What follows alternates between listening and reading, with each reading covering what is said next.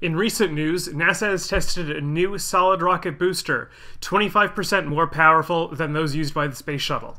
That's going to send us out into deep space. And this is your space news.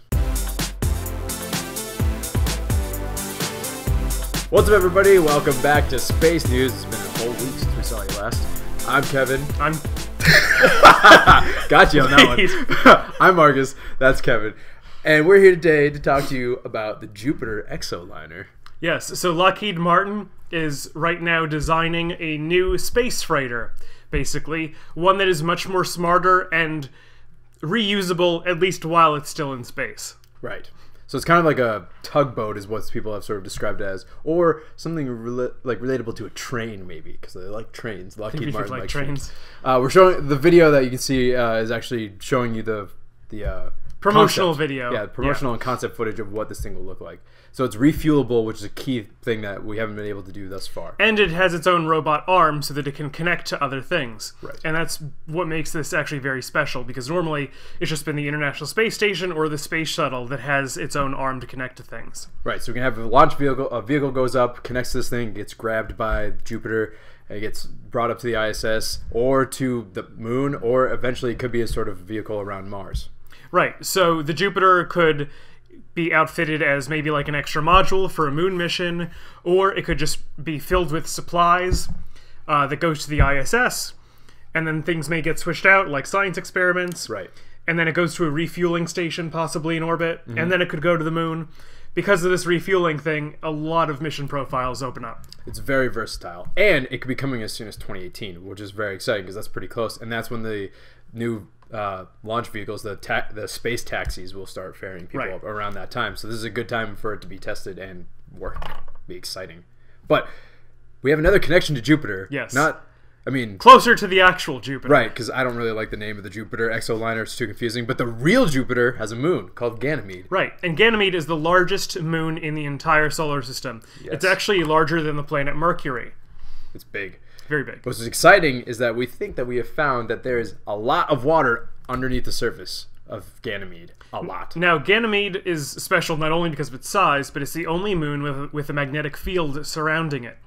And so scientists have been observing this magnetic field through the aurora that it creates, and have noticed that it varies over time as it connects to Jupiter's magnetic field. Right. But it varies in a very specific way.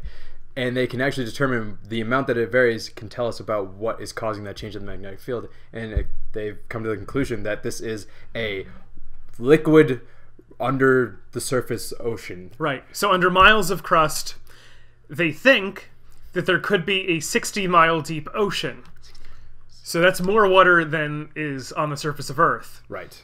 That's a lot of water. And it's not just regular water. This is water that they believe has either salt, a lot of salt, or minerals. Anything that can carry a charge, so that once you have a moving liquid that carries a charge rotating really fast, then you get a magnetic field, and that explains the change in the aurora that we're seeing on Ganymede. It's very exciting stuff, further proving that our solar system is apparently a lot wetter than you would have expected. Right. And uh, Jim Green, the head of NASA's planetary science, uh, said that the solar system is looking like a, a soggy place because news of you know water underneath the surface on Ganymede, under Enceladus, maybe under Titan, in Europa, it's just adding up into a lot of different places. Mars, maybe the moon. Who knows?